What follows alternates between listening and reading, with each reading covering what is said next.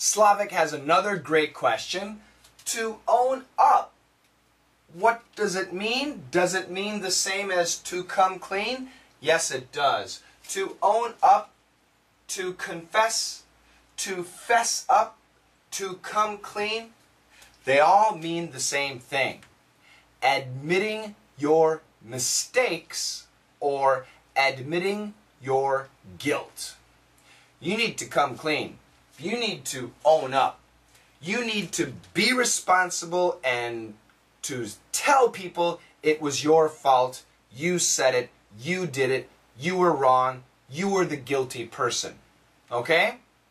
So if you made a mistake and I'm your friend, I might tell you, you need to own up.